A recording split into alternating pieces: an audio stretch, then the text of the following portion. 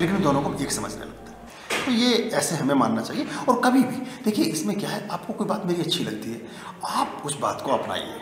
आप उसे दूसरों को मत समझाइए। मैं तो कहता हूँ बहुत लोग पहले मेरी जैसे किताब में किसी को देता था। मेरी किताब पढ़ के दूसरों को देते थे। फिर उसको पूछते रहते थे, कैसी लगी? अच्छी लगी? इसमें ये लिखा पूछी नहीं मत। वो क्या बिल्कुल कूड़ा लिखा है। कबाड़ है। क्या करोगे? आपको कष्ट होगा। दुख पहुंचेगी आपको अच्छा लगा ना? आप अपने अपने जीवन में उसको अमल में लाइए। होता ये कि हम पूरी तरह तो अमल में ला नहीं पाते। हम औरों का कल्याण करने चल पड़ते हैं। हमें डॉक्टरी अभी पट्टी बांधनी आई नहीं है और हम दूसरों को ऑपरेशन पर निकल चले हैं।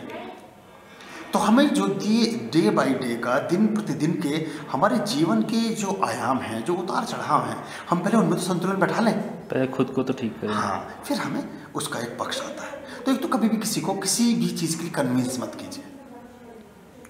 कहिए ही मत। अपने जीवन में ये देखिए कि हमें और बेहतर क्या करना है। इसका हमें ध्यान रखना चाहिए।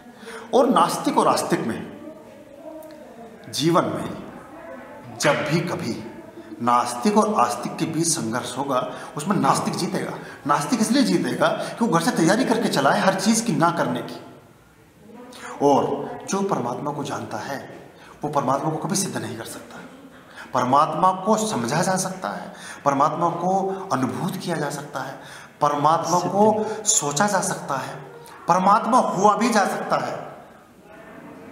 परमात्मा को हो सकते। हैं दिए से दिया जल सकता है लेकिन दूसरे को आपसे जैसी आप कहते हैं वो चीज़ आपकी कही भी हो जाती है। और आप जो कह रहे हैं वो अनिवर्चनीय है।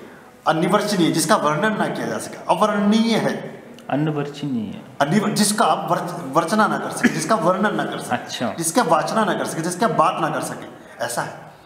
और जैसे जैसे व्यक्ति के ज्ञान का और बोध का आयाम ऊर्दगामी होता है ऊपर की तरफ़ जाता है वैसे वैसे उसके उसकी वाणी मौन होने लगती है वो कम बोलने लगता है वो चुप रहने लगता है वो इन सब चीज़ों के दावे बंद कर देता है।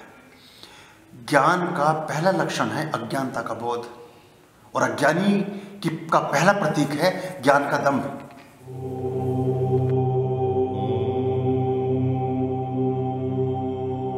आर्यम शरणम शुभमस्तु।